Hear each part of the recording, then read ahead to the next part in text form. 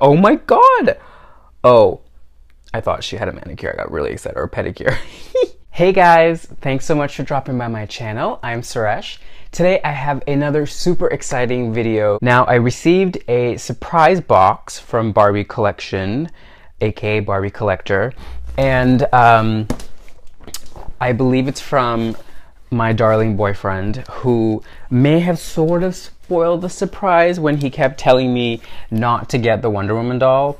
So I was just kind of like, uh, okay, why? It just arrived and I'm really, really excited to open it. So I thought we could open it together and uh, I loved the Superman doll so much. So I'm pretty sure that I'm going to love her as well. Okay. Ooh, there she is. Oh, wow. She's pretty, you guys. I've seen a few reviews um, online of her that some other um, collectors have done, and they always say the same thing, which is that she looks so much better in person. But oh, wow. Oh my gosh. Oh, she looks so cool. Oh my gosh, she's so pretty. The presentation of these dolls, I think, is so pretty. The boxes are just gorgeous. So there she is in the front, and uh, I will show you um, what she looks like when I take her out of the box, which I very begrudgingly do. It has the movie title on the side, and there she is on the side, um, like Superman was on his box. And the back of that is the story of the movie, which, by the way, I think opens in like a couple of days. so excited. Her face is supposed to be uh, in the likeness of Gal Gadot. So that's the new face that they did. And then the body type is the posable hero female. Because I believe Superman and Batman are the posable hero males. So um, oh, wow. Love this so much. She does come with her certificate of authenticity, which I love. I have literally like a stack of these, like this thick. Not even kidding. I shop way too much. Here she is. Wow. Very pretty. And as you can see, they have posed her really beautifully, actually. And Again, the presentation's really cool. Okay, guys, here she is.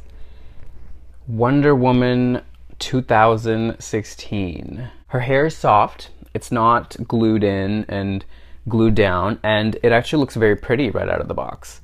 Um, so I'm, I'm very happy about that because I'm big into the hair looking nice, and I just I can't stand it when it just is like super boxed looking, and then I have to wash it and blah, blah, blah. But this is really pretty hair. Wow, gorgeous. She does um, come with the stand. Um, it's a stand that cinches her at the waist. So I am not a huge fan of Barbie um, doll stands. I find them just to be a little cheap looking, so I usually use Fashion Royalty doll stands and I think that's what I will use with her. This is, wow, it's a really pretty doll. She is articulated at the wrist, moves up, down, in, out at the elbows, um, the really good range of motion, and also at the bicep, it looks like. It turns this way and that way.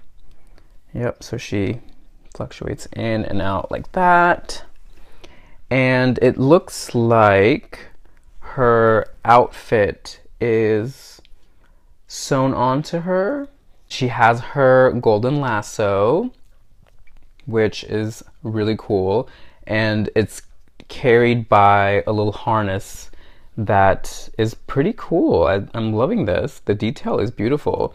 Um, there's the lasso on the side. The harness wraps all the way around her back and then goes to the side as well. And there's like a little, um, her little logo detail on the side. And then it comes back to the front. Her left hand is clenched in a fist. Let me see if I can show you this. There you go. And I believe that's to look like she's holding the uh, the shield.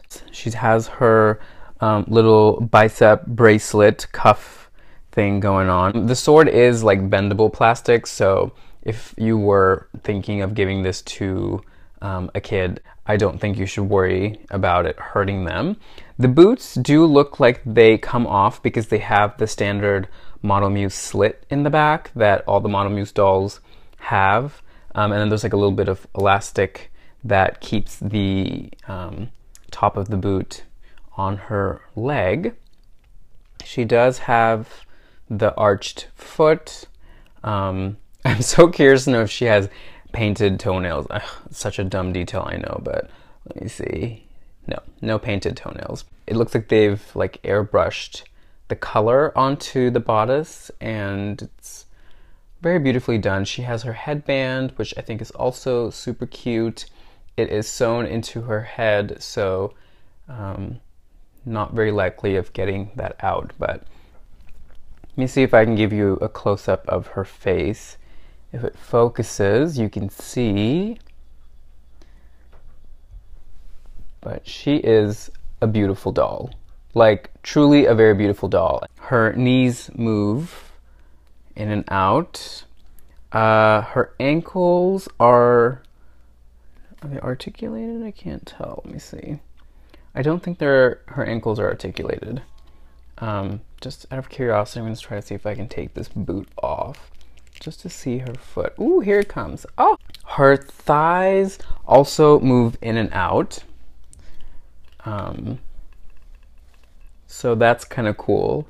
So she can really like have, she has a pretty wide range of motion with her legs, so that's cool. Um, and there is her foot outside of the boot. Looks like it's the standard foot that uh, they used with the interlocking knee. You know, I almost wish that they would do these knees for even the fashion dolls, like the new, new uh, Silkstones that they doing that they did with the um, articulated bodies. Like that little kneecap running over the leg, it looks so gross. But this is actually much better, I think. So there's her foot outside of the boot. It's a really cool boot, you guys. Like there's like little perforations on the side so her foot can be seen through it. Love the little sword detail, by the way. Um, it's a very nice sword. It's very beautifully done. Oh, her little um, her little arm cuff here also looks like it could be snapped off, but super cute. Well, both her cuffs actually, her magical um, cuffs, I believe. She has the little um, leather straps across her hands as well. They're painted on. Um, I guess it would have been kind of cool if they had used, you know, the same fabric as this to wrap it around her arm or her hand, I mean. But I could imagine that that would get a little tricky in production. This is, by the way, a black label doll.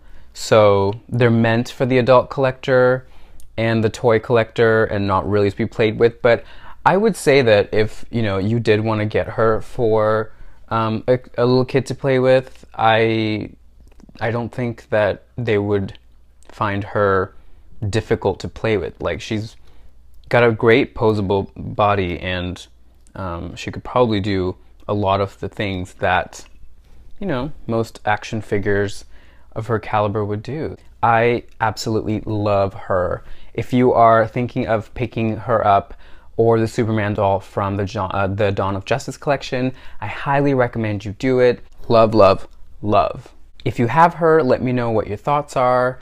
I would love to hear from you. Anyway, there you have it. Thank you so much for watching. I hope you guys liked the video, and if you do, please give me a thumbs up so that I can make more of these videos for you guys. And don't forget to subscribe to my growing channel and uh, find me on Instagram so that we can selfie swap.